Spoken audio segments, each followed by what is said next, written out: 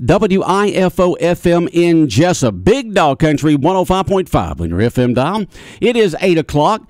It is now time for the world famous Butch and Bob Show, brought to you by O'Quinn Associates, Murphy Builder Supply, Damon's Famous Fingers and Wings, and First Southern Bank. Most people understand the need for life insurance, but not many want to talk about why it's essential to your financial plan. It may seem intimidating, but it doesn't have to be. Don't get overwhelmed. Get started with Country Financial. Call me, Sean O'Quinn, today at 588 1051 and let me work with you to find life insurance that gives you the protection you need at a price you can afford. Life insurance policies issued by Country Life Insurance Company and Country Investors Life Assurance Company, Bloomington, Illinois. Since 1946, Murphy's Builder Supply has been serving the folks of Jesup, Wayne, and surrounding counties with quality products and knowledgeable service. Matter of fact, they feel they sell service first to make sure you get exactly what you need for your home improvement projects. And with each employee at Murphy's being there for 10 years or more, you know you're talking with someone with the experience to help you with building supplies, tools, paint, and all the things you need from a full service hardware store. The best choice in home improvement is Murphy's Builder Supply, 156 Northeast Broad Street, Jesup. Damon's Famous Fingers and Wings restaurant in Jesup is now open for business, practicing social distancing, but still serving that great food that Damon's is famous for. Come inside or come through the drive through, but Damon's is open inside and welcomes back its customers. The menu's the same, the service is fast, and the food is fantastic, and the sauces remain the same mild, wild, insane, or inferno. The number is the same 588 Wing, 588 9464. Damon's Restaurant on West Cherry Street in Jesup, dining room now open for business. Come on in and enjoy a great meal today. Hi, I'm Raymond Brown. And I'm Mandy Yeomans. At First Southern Bank, our customers are like family. As a locally owned community bank, we're dedicated to helping our clients succeed. We have loans for every need, whether it's personal or business. We have lines of credit, auto loans, equipment loans, and of course, we offer mortgages. Stop by our bank or call us at 912 588 1010 and see how First Southern Bank can help you. Member FDIC Equal Housing Lender. The following is an exclusive presentation of Jesup Broadcasting, the sports leader in Southeast Georgia. World famous. The world famous Butch and Bob Show. World famous Butch and Bob Show right here on WIFO 105.5 FM in Jesup, Big Dog Country. Good morning, Bob. Good morning. World Series begins tonight. Yep, exciting. Go Exciting. Braves. Yep. Braves are back in the series. Yep. Good to see you. Exciting stuff right there, let me tell you.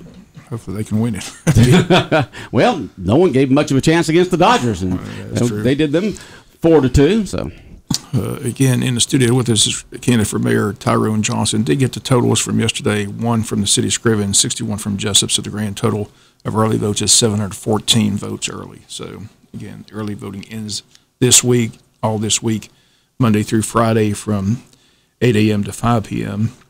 and taking place at the Cracker Williams uh, Annex building. So hopefully it'll pick up this week and also Tuesday election day. Again, Tuesday's election day, November 1st. But Tyrone, appreciate you coming in. Uh, again, uh, first of all, we'll just ask you how the campaign's going. So far, so good, gentlemen. So far, so good. I want to ask you, yeah, a lot of people, actually, I don't have Facebook, but there's a lot of confusion about this event you're having called the Soul to the Polls, where people are getting paid ten dollars to participate. Are they getting paid to vote? Or are they getting paid to? I mean, that's that's the confusion. So what's what's happening? Explain explain Ab- Souls absolute- to the Polls. Absolutely not. Souls to the Polls is uh, an event which um, originated in the African American community, um, which is. Um, I think several years ago, uh, it became an opportunity for people to vote on Sundays, um, and so a lot of churches in the African American community would work toward getting um, members of their congregation to go to make sure they vote and they, they that they participate in the electoral process. Um, you said something about ten dollars or something. Yeah, that's the thing I got Facebook. Says they're getting ten dollars to take people to the polls, or people are confused. They're getting ten dollars to pay to vote for Tyrone John. Where's the ten dollars come in? Who's getting the ten dollars? No, th- th- no. Uh, th- those were paid staff members, paid staff members of mine that were actually out working and canvassing. That had nothing to do with uh, uh, anybody who was actually uh, voting. It had to do with the people on my team that were being compensated for their services and their time. And what are they doing? Oh, they, were- uh, we're going out and uh, putting um, door knockers on doors, going out and doing whatever it is that the uh, campaign team needed them to do in regard to uh, elevating the awareness about voting. So It's basically a paid political staff, right? Yes. You see that on the state level, national level. So they're not taking people to the polls. No, no, There's, uh, no, no, they're they're not. No, that's- Yeah, no. like I said, I'm I mean, trying to clear pe- out people people- can people can be paid to take people to the polls if they if that's their staff position and that's and that's what they do. Uh, the Souls to the Polls event, uh, that event is usually a, an event where people call in and say they need a ride to the polls, but there's no compensation involved in that process. Again, for people who don't know who Tyrone Johnson is, tell us, explain. You know, you came home recently to take care of someone ill in your Sure. family, but what what do you Uh, what do you do? What have you done since you left college? That's Okay. what people are asking. Before before before we go that far, I, I wanted to uh, I actually wanted to begin the show with clarifying some things and speaking directly to some things, and I'm come right back to your question. Okay. Okay. Um, first of all, let me say good morning, everybody in Jesup and Wayne County. Um, I want to speak uh, before Bob continues on the show with his questions. I wanted to directly take this moment to say that any and all allegations and or reported claims of criminality of any sort along with my not owning any real estate in Jesup or Wayne County, and that I couldn't have possibly earned the degrees which were conferred upon me, are utterly false. So I want to get that out first and foremost. And I want to also say that when you go through life believing that if you play by the rules, that opportunities will emerge and that good things will be added, and of course, education should yield better life results. Obviously, in, in, in this process of this election, there are those who have desired to paint a different picture of me, and they've desired to do that for all of a sudden. Well, I want to suggest to those individuals that they should relinquish their research task to someone else, for they have failed miserably in terms of researching me. Dr. Benjamin Elijah Mays, the former president of Morehouse College, once stated that the failure in life does not come from not reaching your goal. The failure comes for having no goal for which to reach. It isn't a calamity to die with dreams unfulfilled, but it is a calamity not to dream. Not failure. It is low aim that is the sin. And so there are those who have been aiming low throughout this entire political process. They've aimed low, and, and when you aim low, there's no way you can hit me because this campaign is all about moving on up and it's all about operating on higher ground. And that's what we've done throughout the entire process. At no point have I spent one moment of my time focused on my opponent. In fact, you, you won't even he- hear me say his name because in reality, it's all about the people of Jesup. It's all about making Jesup a better place. And it's all about helping Jesup to shine and to grow. So, for those who have anything that you have on me, I want you to hit me with your best shot. I want to make it incandescently clear for those who slander or demean or defame my good name or my family's name. I want to caution you that my legal team is ready and I'm ready to sue the pants off of anybody who would slander my good name or that of my family. So I want to first put that out there before we discuss anything else because I think it's important that I have that opportunity to do that. And I also want, oh, before you go on, Bob, hold on, before you go on, I also want to share something because I want you to confirm for the listeners today this which I'm going to show to you. Just tell me exactly wh- who whom was this issued by and whose name is on there. Uh, it's issued by Morehouse College. Issued by Morehouse College. Whose name is on there? Now, what he is showing, he's showing a plaque of his one of his diplomas. Yes. Okay. No, no, just say whose name is on there. Adair Tyrone Johnson. My name is on there. That's from Morehouse College, right? Okay, so tell me what is this? By whom is it issued? Name of the college at top. Simmons, Simmons College. Simmons College in Boston, Massachusetts. Whose name is on that degree? Adair Tyrone Johnson. All right, hold on one second. All right, so tell me whose name is on this one, Bob. Who is this by? Uh, Columbia University. Columbia University in New York. Whose name is on this degree? Tyrone Johnson. Okay, and, and, and let me give you one more. I'm not going to go through all of them, but I'm going to give you a few of them, okay? Whose name is on this degree? Harvard. Harvard University. Whose name is on there? There, Tyrone. Exactly, Lord exactly. Tyrone, how long did you All right. spend in college? I spent I spent as much time as I desired to spend in college. But what I wanted to make it clear is that I'm the last person you want to play with. Okay? My dad left my dad left this life about 13 years ago, right? And he lived a life of honor and respect. You can best believe that I live a life of honor and respect. Anybody who knows me, classmates, community members, you and everyone else know that my name is a good name. And I'm not going to allow my opponent, any of his cronies, any of these people on uh, the Wayne County, whatever page they hang out on, because some folks obviously live in that space. I want them to know and understand that the candidate who's running for office, who is the best prepared, the best educated, the best informed, is the one that you're speaking to on today. So I want to get that out there. So with that said, good morning, everybody, again, Wayne County, and I now will allow Bob to continue the show. I'm, I'm glad you brought it up because somebody dropped this uh, envelope at my doorstep. Have no idea what it is, but you know they're basically trying Yep. to insinuate that you've been. Uh, Yeah, they tried to insinuate that I That have you're- some criminality. I saw this same report. Actually, this was brought to my attention. Uh, you have any idea who's, you have any idea who's circulating? No, you know, no, I have no idea who's circulating. Well, I do have some idea who's circulating it. Um, I do have some idea who's circulating it, and that person is connected to one of the former employees of our city who recently left our city, um, his daughter. Um, so I'm aware of certain individuals who have passed this out, but but obviously these people are clowns. I mean, I mean, even a person with the lowest of executive functioning could do a better job of going and researching me. My path, in fact, interesting that you point that out. Let me point one thing out to you in this report. Uh, and what I'm going through, folks, is a bogus report that was created with multiple names in it that is supposed to be me, something that, that was fabricated. But this indicates that in the, in, in the year 2000, uh, in the year 2000, that there was a crime committed in a city that I did not even live in at the live in at the time. This um, fabricated document starts off with researching Adair Johnson, but then it transitions. It's no longer researching Adair Johnson, it's researching A. Johnson. Then it's researching a Tyrone Johnson. And there are millions of Tyrone Johnsons in, in on the face of the earth. The fact of the matter is this is not me, not me at all. And it's just a fabric, it's just fabricated garbage. But at the end of the day, as I say, hit me with your best shot. There's nothing for me to defend. I, I just want people just to understand that that this is what this um, election has resorted to at this point. Let's get back to the election. Though. Like I said, people still ask about Tyrone. You know, like I said, you went to your um, all the colleges you went to, but since you got out of college, people were just asking, "What what do you do?" Because, like I said, your opponent Ralph Hickox has businesses in Wayne, in City of Jesup, invested in City of Jesup. So people are asking, "What what's Tyrone Johnson done Mm, yeah, okay. since he left college? What Sure. kind of jobs did he have? Sure. What, what does he do now? Sure. I'm just Oh, curious sure, what sure. you're doing. Well, in terms of my pathway, I have served for 25 years as an educational leader. I have uh, served as a clinician.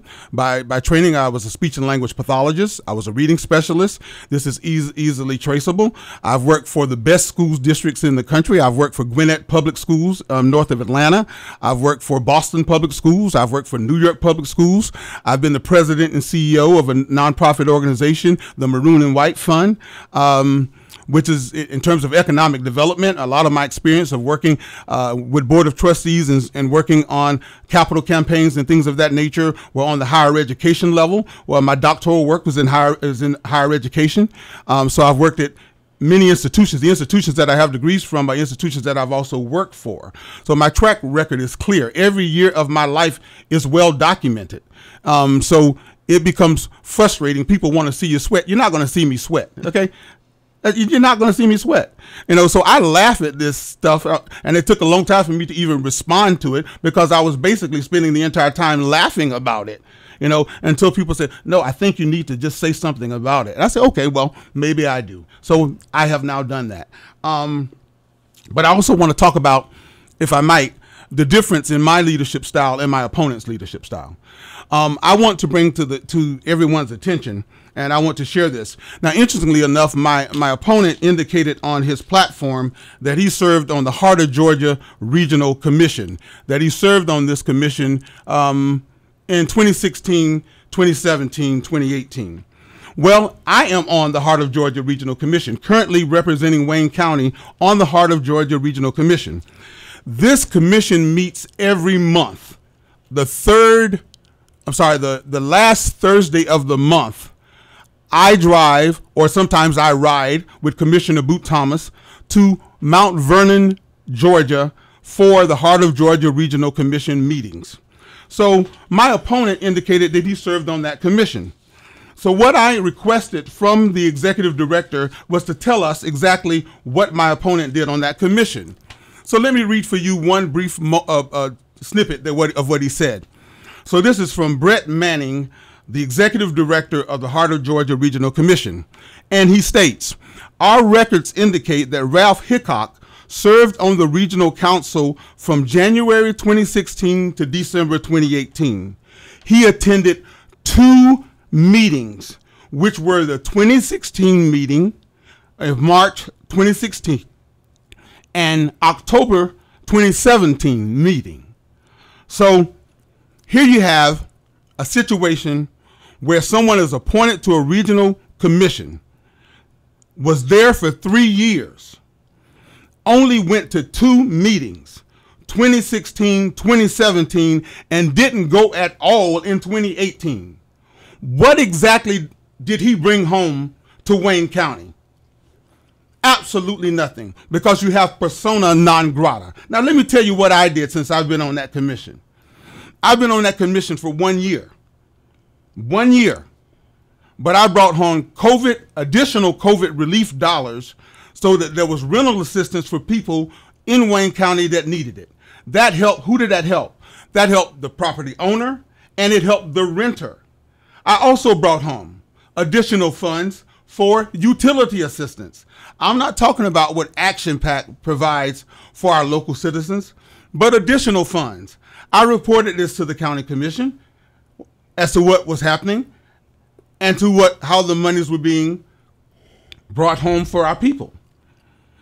In addition to that, for people who needed a arm rail, I mean a, um, a guard rail, or something to help them in and out of the tub, and in one instance, a family that needed a new um, handicap rail coming from their home.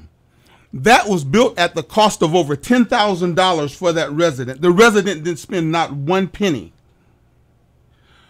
I came home, helped to facilitate that assistance for people because I'm a people person and I want to make sure that Wayne County gets its fair share of what we should be getting from the Heart of Georgia Regional Commission. There are 17 counties involved in that. So, what I want the people to know is that how in the world could we elect someone, the other person in the race, to the role of mayor, and what exactly would he do in that role other than something to try to benefit himself? That's what I want to know. Because when it comes down to what we need in Wayne County, I can best tell you in the words of Governor George Busbee, who once served our state. Governor Busbee said it is imperative that all governments develop a closer working relationship. Although there are separate and distinct roles which must be recognized, this does not mean that government, government cannot help each other. So, Mr. Hickok served on the county commission, as we all know, and we know about the divisive time, the 3 2 votes over and over and over again. How I want to hear him answer this on Thursday. How is he going to serve, or how would he serve as mayor and develop a cooperative relationship with the county and the board on which he served and on which he repeatedly told lies about Ed Jeffords and about the notion that something was untoward in our county office and how monies were being managed. It took multiple investigations by the ACCG team, by the GBI, by the sheriff's office, and an audit which proved no supporting evidence whatsoever confirming any of the allegations that he made. Yet, we in Wayne County have not heard him, not at all have we heard a word of apology to the commissioners, to the people of Wayne County, to Mr. Ed Jeffords for having made such false allegations. That is exactly what's going on in this campaign. More false allegations. We need to unify Wayne County in order for Wayne County to be productive. We need to come together, city and county, working together to make Wayne County a better place. I am a unifier. That's all I know. I am a unifier. That doesn't mean I'm not, mean I'm not a decision maker. Oh, by no means. Well, I just sit down and allow anybody to dictate something. I am the person who's always going to sit down to try to get to the best possible decisions for the people of Wayne County. You're not going to get that in my opponent. I'll let you take the question from there. Well, I'm glad you got the decision because the decisions has to be made on the full-time city manager, and they've done a 180 uh, this They past did do a week. 180. They said from day one they were going to make a decision before the election, but now this past Friday they said they're going to wait till after the election because they apparently need uh, decisive vote. So, no, Bob, they just simply followed my leadership. I told you all very uh, at the very beginning that this needed to wait to after the election. I was the very first person to say that.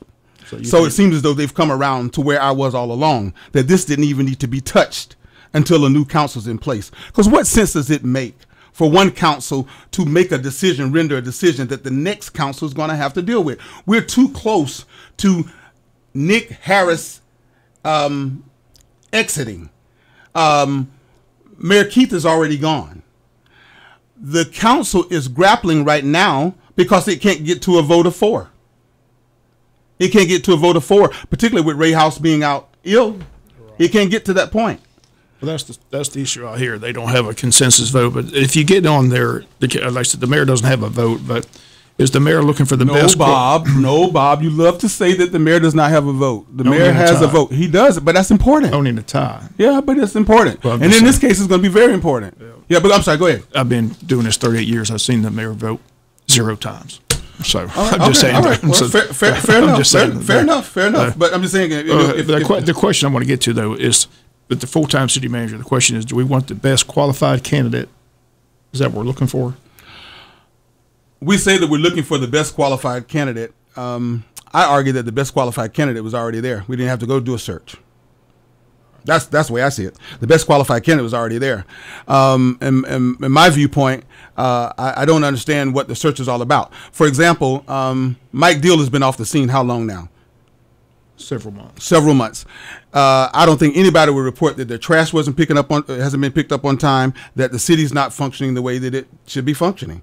And the reason it's functioning the way that it is because we have an interim city manager who's obviously doing the job. Uh, so my thing is, we, we always say we want to promote from within. We want to we want to promote local. Well, we have an opportunity to promote local. More importantly, as I underscored for the council two months ago, we're in a situation in Jesup where we have 78 men on our workforce and only 12 women. We women represent 56% of the city of Jesup, but they only occupy 12 out of 90 positions in our workforce. We need to find a way to promote women leadership and to promote women in all aspects of our local government.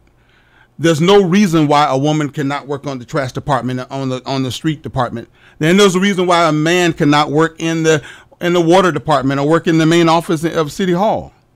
We need to understand that we want our city to be inclusive of everybody, particularly around the around the um, the notion of gender. And so I hope that whomever the finalists are, just personally speaking, as an advocate for women, that if that I'm hoping that those finalists, once they are revealed, that they are women. I would like to know that they're women. Um, they- they say she's a finalist, but they haven't. She- said she's one of them, They but don't say, they, they don't won't say about the other. We don't know anything about the others, whether they're women or not. Well, now they're saying that all four are still involved. So I don't. Said, Yeah, it, has been kind of confusing to me. It's been very confusing, and and the, and the mayor pro tem hasn't given us any clarity. I mean, you know, every time he comes forward, it's a different song. So my thing is, you know, what what is the deal? You know, uh, by law, we know by law, once you get down to three, it is supposed to be revealed. Supposedly they're down to three. So is it three finalists? Is it four? You know, um, if all of this had waited, as I had indicated, if all of this is waited, I don't think we would be where we are right now. Um, You know, Yeah, this whole thing, I, I just, it's just very frustrating. It's frustrating for the citizens. It's frustrating for all of us who sit there and watch it. And if we had at least some accountability around being truthful and being forthright and being clear, then people would at least walk away from the situation knowing at least this is a situation. Because you reported out one thing last week, only to have to say that another that, that a commissioner um, um, uh, misspoke. Misspoke. That's Yes. what that's what they Yeah. told me. Yeah, that's said, what they told me. They told me one thing and then Right. they said they got it wrong. Yeah, we're Right. getting to the end of. I appreciate you coming in, but again, people are headed to the poll. So when they go to the voting booth in the city of Jesup and they see the two names Tyrone Johnson and Ralph Hickox, why should they vote for Tyrone Johnson? The citizens should vote for Tyrone Johnson, just as I've stated from the onset. And that is, I am all about greater possibilities, new opportunities, healthier communities, and better living. We have situations that need to be resolved. The swimming pool issue needs to be resolved. I'd like to see the swimming pool actually named after David Larson. Um, I think we need to build a swimming pool, and I think we need to give honor to a man of our community who served well and who got that Olympic medal back in 1984, I believe it was. Um, I'd love to see David Larson uh, Larson honored in that process. Um, that may or may not be the case. I'm a firm believer that we can build a pool cheaper than what is being proposed. It doesn't take 1.3 million dollars to do this project. I, there's no way you, you can convince me of that. And I will do everything in my power to make sure that we work and that we get enough um, bids uh, um, on, on the project that will allow us to do this at a lower cost. Um, I'm also a firm believer that we need um, to have community parks that are vibrant, just like we've done with, with the Cracker Williams Park, which is beautiful and enjoyed by many. We can place those kinds of parks in other places of the city. What about a skating park? I mean, are guys who go on skateboards all the time, and they're in your parking lot and all over the place. But they need a uh, they need a viable place and a viable space in order for that kind of thing to be done. Um, there are lots of things that we need to work on. I'm a firm believer that if it isn't broken, we don't need to fix it. Let me say that first. If it isn't broken, then we need to leave it alone. And a lot of great things about our city that we need to leave alone. But there are small, there are other things that we do need to work on. Homelessness, for example.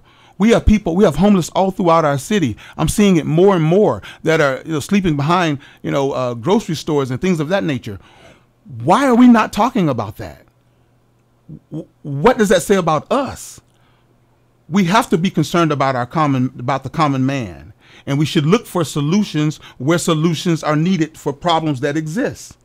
So that's the kind of leadership you'll get from me is a I'm the person who's not going to try I'm going to listen to everybody first of all and make sure they're heard, but I'm also a person who is going to help use that position of mayor to empower the council members to do the right thing. When council members are not doing the right thing, you need to know that. When there are things are going on, such as the situation we had with the police department, there should have been a pub. There should have been instances where you got monthly public updates and statements from the mayor about what was going on. David Earl did a fine job. Don't get me wrong; 'cause he was a great mayor. But I tell people, you know, people think there's some kind of prerequisite for running for mayor. There's no prerequisite for running for mayor other than you be a U.S. citizen and you live in the place that you're running. I mean, it's not like you have to have a college degree to run for mayor. I mean, we've had uh, we've had a mailman, Herb Shaw, served for what 18 years. He was a former mail mailman. So you know, all this stuff about you got to be this and economic development. You got don't come with all these new requirements because I'm running, because I'll meet the requirements and, and exceed them. But let's be honest, nobody loves Jesup, Georgia more than I do. I double dog dare. Since we're on Big Dog Radio and I'm a UGA alum, I'm a double dog dare somebody to say that they love Jesup, Georgia and will do more for Jesup, Georgia than I would. My heart and soul is in this, and I am committed that we're going to win this because everybody is involved with my campaign. Republicans are on my team, Democrats are on my team, Independents are on my team, and I'll go a step further. Even my opponent may end up voting for me. Now, why do I say that? That sounds crazy, doesn't it? The reason I say that is because Ralph Hickok voted for me to be appointed to the Heart of Georgia Regional Commission. Four Republicans and a Democrat voted for me to be appointed. The requirement is that you own a business. The requirement is that you be in Wayne County. He voted for me then, and I believe he's going to vote for me again. Well, we'll ask him that Thursday when he comes in. We do appreciate you coming in again. Appreciate That's you coming gonna do it in. Thank you guys. I greatly Wish you the appreciate best you. All right. Have, have a good day. Everybody get out and vote. It is 8:30. World famous Butch and Bob show has been brought to you by O'Quinn Associates, Country Financial, by Damon's Famous Fingers and Wings, also brought to you by Murphy Builder Supply and First Southern Bank.